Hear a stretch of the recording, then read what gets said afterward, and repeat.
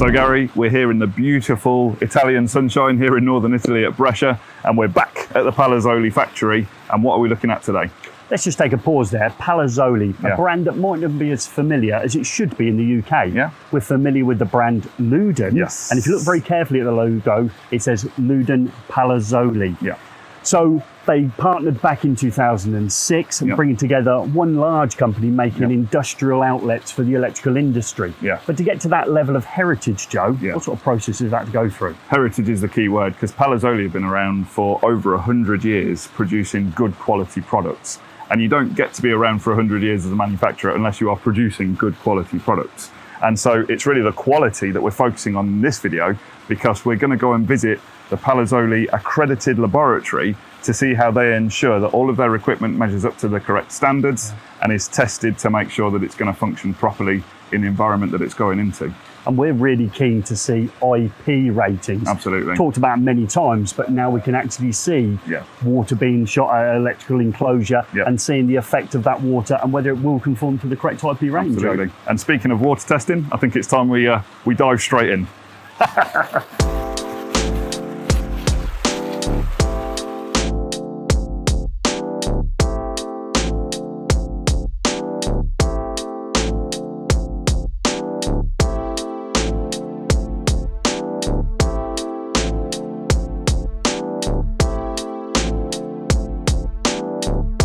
So Gary, we've come into what looks like a room for showering horses, so I'm feeling a little bit nervous and vulnerable here. So what are we doing in this room? I'm also concerned there's a gun in front of me that can shoot water out because we're in a room that will verify IP ratings. IP standing for? Of course, that stands for Index of Protection, so that's what we're interested in here. And we're particularly looking against protection against the ingress of water in this test. So which particular IP rating are we looking at? guys? We've jumped up to IPX6, Hmm. which is talking about jets of water. Joe, what sort of distance are we going to be shooting the water at from? So the standard requires that the gun is between two and a half and three meters away from the object being tested, and we can see the object being tested behind us. Now, at the moment, I think it's fair to say that the IP rating of that is somewhere in the zero range, because as soon as water starts spraying from that jet, that's going to get flooded. So, what particular aspect of that enclosure is being tested today, guys? Yeah, we're going to need to close the door. Yeah. Okay, and obviously that seal inside the door is going to be the one we're going to verify. We're also going to fire it not just at the front surface, Joe. We're going Hmm. to fire it what are the surfaces? We're going to be firing it on the left-hand side of the product and on the right-hand side of the product, and that's something that Palazzoli do themselves. The requirement is for a three-minute test, but Palazzoli like to go a little bit beyond and make sure that they hit every single side of it and not just get all sides wet, as the standard requires. So I think we should close that door. Um, I'm happy to get out the way first. if I get the other side of there, I could fire us off. And then we can see that sustained three minutes of water Yeah. and confirm its IP rating, Joe. Look forward to it.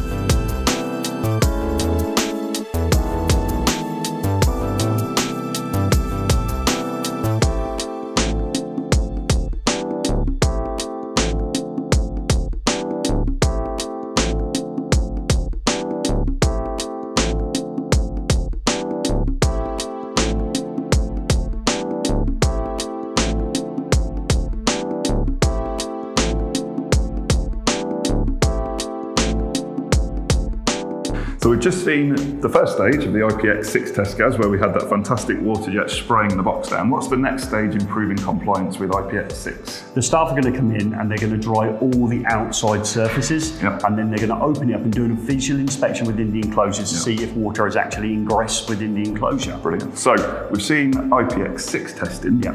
How can we test for other IPX ratings? So if you went for IPX7, mm-hmm. the tank here is where we submerge our enclosure. Right, and you'll notice that's over a metre It deep, is. so it gets right down to the bottom. It does. If we wanted to go for, say, IPX5, Yeah. it's a simple case of changing the nozzle. Yeah. However, you've got what looks like a garden hose in your hand, okay, from the actual end. Absolutely. So what's that all about, Joe? So this is for testing for IPX4 and IPX3. So that's more about showers of water rather than jets of water, as we've seen here. And there's two modes to this. It can be tested without this front screen down, and you can see there that looks a bit like uh, the rose on a watering can. It does. And the idea is that that will test for IPX4. It sprays water at certain angles towards the object being tested. And then if we drop the screen down at the front, that now becomes a test for IPX3. Okay. And the water is slightly more diffused, slightly more dispersed, and not quite as direct onto the object, but it com- firm's compliance with that standard. So we can see this is a really exciting and interesting part of the process in order to conform to the IP rating required of the enclosure. So we're working our way from the far end of the Palazzoli lab to the door, because that's the way it's laid out here. And we've looked at the protection against the ingress of water. And what we're doing now is looking at the protection against ingress of mechanical solids, aren't we, Gary? Yes, we are. So we're looking at the first number, so IP5X. Yep. That's what we're going to be looking at. But in front of you here, you've got something that can do one of the earlier ratings. What have you got Absolutely. there? So this will test up to IP2. So what this is doing, this is a standard finger. So you'll notice that it looks an awful lot like my finger. And the idea is that this is used on various products. You poke it in on various places and make sure that you can't contact anything live. So this is actually conductive through here. So it will, it will kind of buzz if you get uh, anything live through there. Now here at Palazzoli, they don't produce any electrical products where you can potentially poke a finger inside. Everything's already much more sealed up than that. So what kind of ratings are we particularly interested in here, guys? So in this chamber here, we're looking at IP, say 5x or IP um, 6x. So what we've got in here is actually talcum powder, Joe. So let's have a Oh, look right. inside. Actual talcum powder. Actual talcum Okay. powder. Yeah. So as we open it up, so yeah, talc. Oh, right. Okay, that's interesting. And obviously that's going to be thrown against the object within there. So this hose that we can see here, uh, Yeah. that's going to be spraying at the object, and then much like the water protection, we're going to be opening that up and seeing how much dust has got inside, or if any dust has got inside. Certainly are. And to help you, there's also a wiper on the front screen. So you love can look that. in as the little process- windscreen wiper. yeah, you. What a great bit of kit.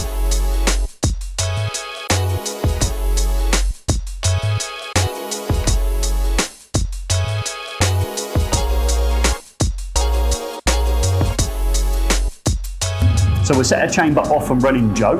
And unlike the one where we did it for water, Yep. this is going to be on for a considerably longer amount of time. Absolutely. In order to verify either a light fitting or other enclosures. What sort of times are we talking about? So in true Blue Peter style, you can see a luminaire here that's already been through this testing process. And this will have actually been inside that chamber for three hours. So it's in there for a long time. But if you're testing anything apart from a luminaire, Yep. it's in there for eight hours. So that's a really quite rigorous test of dust protection. In order to make sure that we conform to IP5X or maybe IP6X. Yeah, fantastic.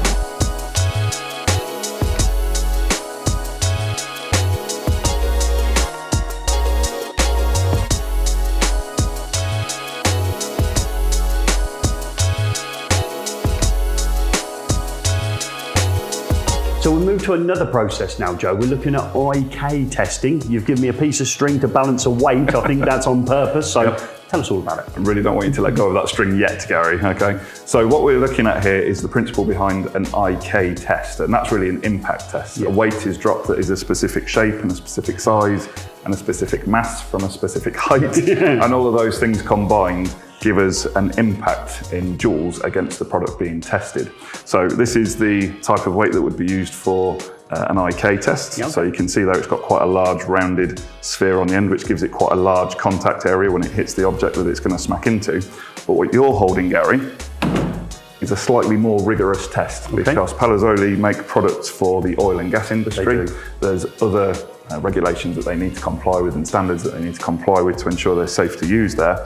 And when you let go of that weight, this has got a much smaller striking face on it, which applies more pressure when it hits that point. So it's going to prove that this is acceptable for use in uh, perhaps an explosive environment. Okay.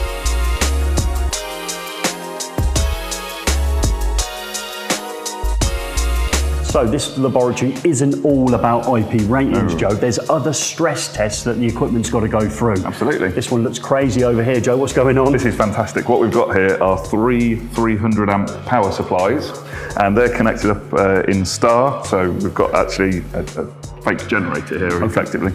And what we can do is we can pump massive amounts of current through the equipment that's under test, Okay. taking it up to its testing value, taking it up to say uh, this one is 125 amps. So we can pump 125 amps through this device and make sure that it can handle that amount of current. And we can take it beyond that value as well, Absolutely, can't we, to yeah. actually stress it out. Yeah, it's absolutely fantastic. Let's go to the next one. kit. So this one, we like it linked into a previous video that we looked at, where we had the industrial plug and socket, Joe. Yep. Okay, but what's this machine going to do in relationship to the industrial plug and socket we've seen before? So I don't know if you remember those IKEA adverts that they used to do, and sometimes when you're walking around the factory, they have a machine that's sitting down on a chair like 10,000 times. This is that exact same principle. You can lock uh, your plug and socket Yeah. into the two parts of this sort of modified lathe, Okay. and then there is a uh, actuator on the end here, which will actually plug and unplug the socket many, many times to make sure that it retains its integrity even after it's been plugged in and out loads. So Gary, we've seen some environmental factors already that we've tested for, but what other things are we looking at in the laboratory as well? So we've got to take into consideration things such as humidity Yeah. and temperature. Yeah, so we've got a humidity testing device here, yeah? And behind it, we've got one that can do temperature, Yep. as well as things that are going to be thrown up by nature, maybe Okay. salt water. Right, so if we've got products that are going into a marine environment, it needs to be proved that the salt in the atmosphere and in the water Absolutely. isn't going to damage that product, and we've actually got a salt water testing machine there as well. Yeah, which is really interesting. Hmm.